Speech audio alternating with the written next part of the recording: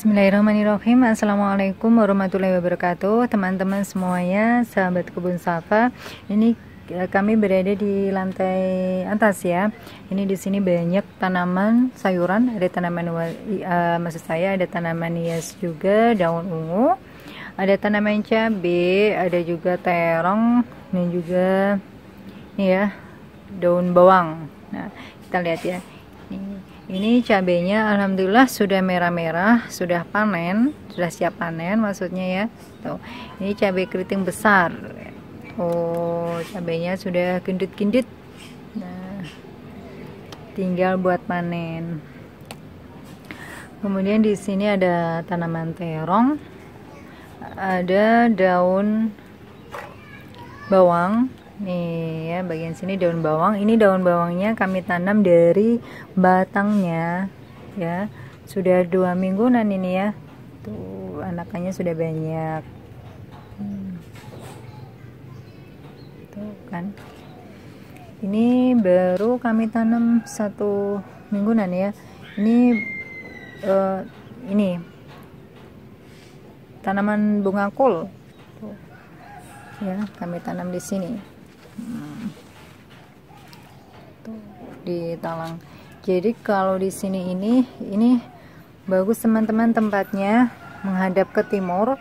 Jadi kalau pagi sampai jam 11 itu masih kena panas sinar matahari ya. Dan juga karena di sini masih musim hujan juga, terkadang itu masih hujan jadi tanpa harus disiram pun di sini terkadang terkena air hujan ya jadi tidak perlu khawatir kalau ditinggal lama-lama ya. Tetap bisa tersiram air hujan. Dan paginya juga bagus terkena sinar matahari. Nah kalau ini ini ini apa namanya bunga ini bunga sedap malam. Nah bunga sedap malam itu ini baru satu bulan jadi belum ini ya belum berbunga belum ada bakal bunganya. Hmm kalau bunga sedap malam itu kalau di musim lebaran ini harganya mahal. Satu tangkainya sampai 5000 ya. Satu tangkai. Kalau di sini ini ada selada merah. Ya tinggal ini sudah kering. Ini dibuat bibit lagi. Nanti ya. Hmm. ada sedap malamnya juga. Ada adenium ini teronia ini memang ini kami ambil bibitnya ya jadi kami biarkan kering seperti ini. Nah, ada adenium di sini tuh cantik kan bunganya merah. Ini yang di tembok ya. Nah, tuh benangnya seperti ini. Nah kalau yang di sini ini nah ini ada tanaman terong dan juga bangkul kuning ya gitu. Bangkulnya sudah siapannya juga nih sudah besar. Hmm. dibikin sop. Tuh nanti kita panen ya. Ada yang masih kecil belum berbunga belum kelihatan bunganya. Nah ini yang di sini ini tanaman terong ini banyak yang kuning layu ya. Karena kemarin itu kan musim lebaran itu ditinggal pergi seharian jadi tidak tersiram satu hari. Nah salah satu akibatnya nih jadi layu kuning dan ini belum sehat lagi. Daunnya kuning-kuning. Jadi kasihan ya. Terlihat layu. Tuh. Nah ini baru perawatan ya semoga ini bisa disembuhkan. Bisa disembuhkan. Tuh. Sebenarnya ini buahnya sudah mulai berbuah ini. Kemarin itu lebaran sudah mulai berbuah ya. Tuh. Ini ada yang sudah tua. Terlalu lama nggak dipetik terongnya jadi sudah menguning sudah tidak enak itu dimakan ya. Sudah pahit. Nah ini masih kecil. Nah ini akibatnya kemarin kurang penyiraman ya. Karena memang kita lagi lebaran ya keluar pergi-pergi silaturahim jadi dari pagi sampai malam jadinya nggak tersiram ya. Karena di sini memang nggak terkena hujan. Berbeda kalau yang di sini ya. Ini meski kena panas kalau hujan dia tetap masih ada air yang masuk di media tanam sini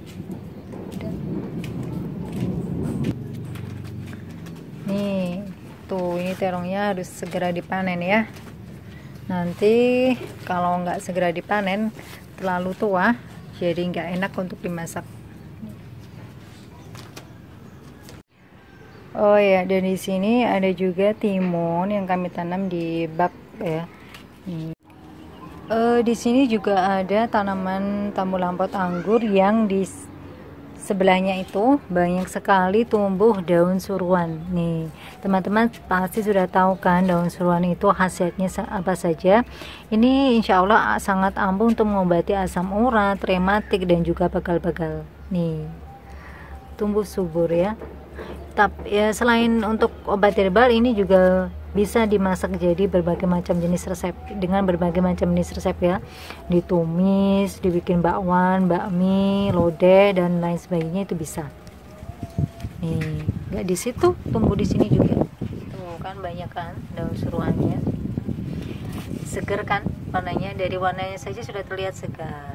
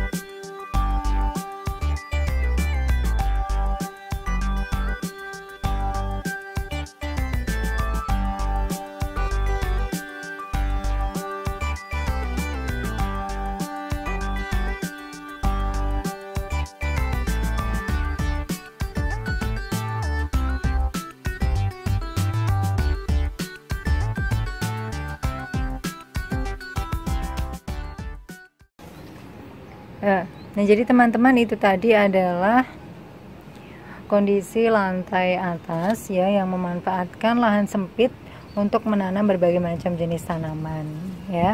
Semoga sajian tadi bermanfaat. Kami mohon maaf pada teman-teman jika ada kurang lebihnya baik dalam tutur kata ataupun penyajian video ya. Jangan lupa untuk terus berdoa kepada Allah Subhanahu wa taala di setiap aktivitas kita agar aktivitas yang kita lakukan bermanfaat dan berkah. Sekian dari kami. Wassalamualaikum warahmatullahi wabarakatuh.